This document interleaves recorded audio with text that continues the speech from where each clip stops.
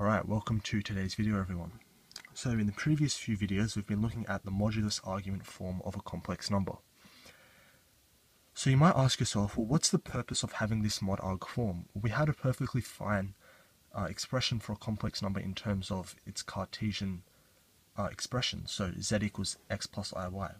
Why do we need this uh, mod arg form? Well it turns out that mod arg form is very helpful in doing certain things with complex numbers.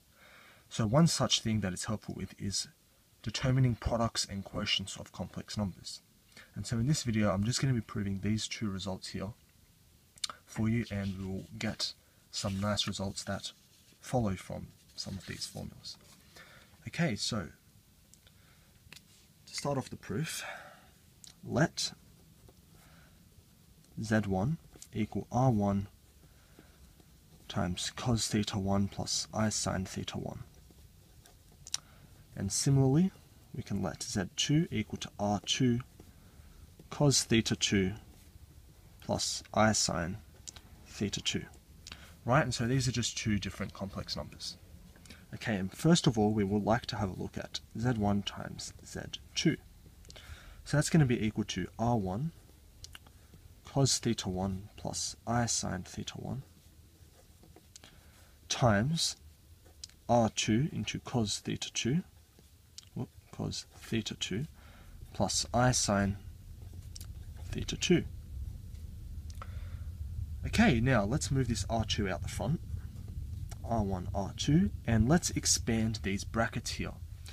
So I'm sure you all know how to expand these brackets, so I won't spend too long on it. I'm going to have cos theta 1 cos theta 2 plus i cos theta 1 sine theta 2 plus i sine theta 1 cos theta 2 and we're going to have i squared here which will be a minus 1 so minus sine theta 1 sine theta 2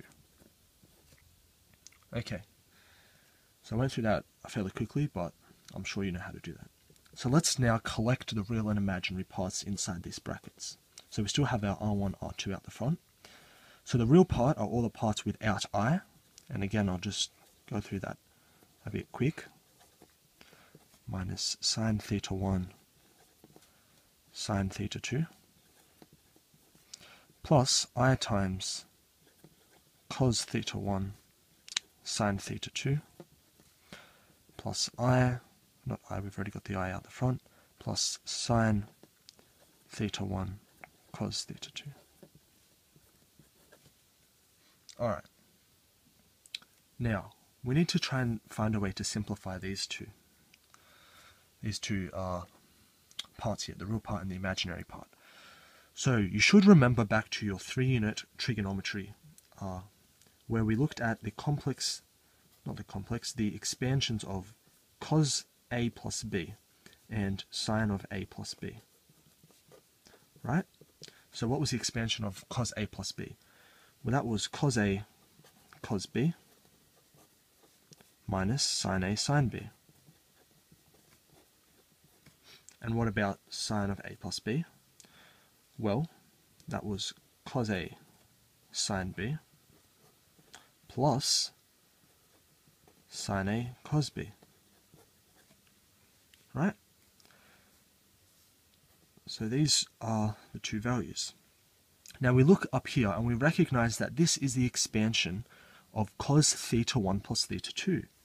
And so we have z1 times z2 equals r1 r2 times cos theta 1 plus theta 2 plus i times, and this one here is the expansion of sine theta 1 plus theta 2. So we have sine theta 1 plus theta 2. Right? And that's the end of the proof. That's the identity we wanted to show.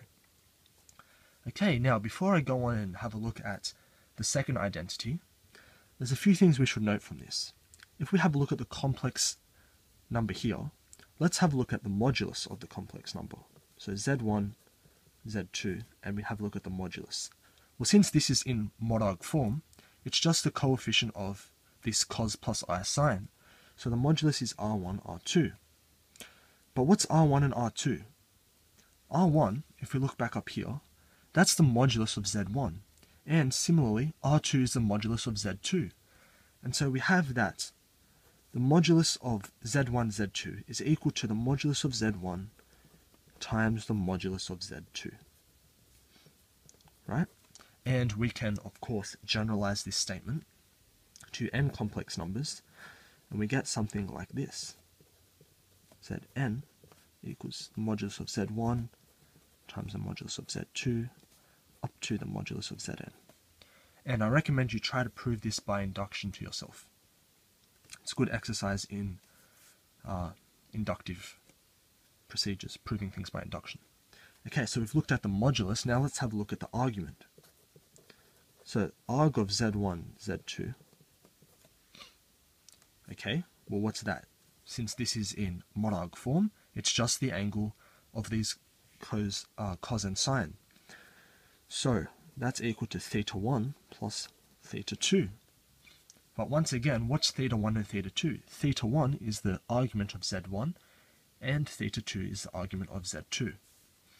And so we have that the argument of z1, z2 is equal to argument of z1 plus arg of z2. And once again, we can generalize this. We're going to have arg of z1, z2 all the way up to n complex numbers zn It's going to be the sum of the individual arguments.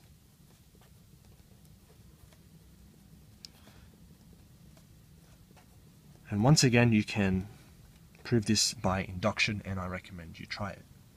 Now, it's important to note that this argument, when we add up all these separate arguments, it might not lie within our principal argument range, but that's fine because we can add 2 pi or subtract 2 pi to it in order to get it back to uh, our principal range of, remember, principal range was minus pi is less than theta is less than or equal to pi, right? So we can add or subtract multiples of 2 pi to get it back into this form. Okay, let's have a look at the second formula, which was the quotients. Okay, so we have a complex number z1 divided by z2. Alright, uh, what's that equal to? z1 is r1 cos theta 1 plus i sine theta 1 divided by r2 cos theta 2 plus i sine theta 2. Okay. Now we have a complex number in the uh, denominator of a fraction, and so we want to realize this. So remember, the process of realizing was multiplying by the conjugate of the denominator. Now, we can take out this r1, r2 here, and leave it to the side for a moment. Now, we multiply top and bottom by the conjugate of the denominator. So we're going to multiply this by the conjugate of the denominator, which is cos theta 2 minus i sine theta 2. And here we're going to get cos theta 2 plus i sine theta 2 times its conjugate. Whoops, not minus. Not plus, it should be a minus. Sine theta 2. Okay, now we can expand the top don't forget your R1, R2. Okay, if we expand the top here, what are we going to get? We're going to get cos theta 1 cos theta 2 uh, minus i cos theta 1 sine theta 2. What else? We're going to get plus i sine theta 1 cos theta 2. And then we're going to get minus i squared, which is a plus, sine theta 1, sine theta 2. Alright, and all this divided by what? Well, here we have a complex number times by its conjugate. And if you remember back to a video or two ago, when we have a complex number times its conjugate, that becomes a sum of squares. So if it wasn't complex numbers, we'd have difference of squares, but because it's complex numbers, we have a sum of squares. So we're going to have cos theta 2 all squared plus sine theta 2 squared. So we're going to have cos squared, cos theta 2 squared plus sine theta 2 squared. Right. Now, let's group the real and imaginary parts together in the numerator. That's going to be cos theta 1, so that'll be cos theta 1 cos theta 2 plus sine theta 1 sine theta 2 plus i times now here we have sine theta 1 cos theta 2 minus cos theta 1 sine theta 2 all over cos squared theta 2 plus sine squared theta 2. But cos squared of any angle plus sine squared of that same angle, well that's just equal to 1. That's our trig identity. Right? So that's equal to 1. And now we can recognize this here as in a similar fashion to the products, this now becomes a difference. So this is cos of theta 1 minus theta 2. Right? And here we have plus i times sine of theta 1 minus theta 2 as well.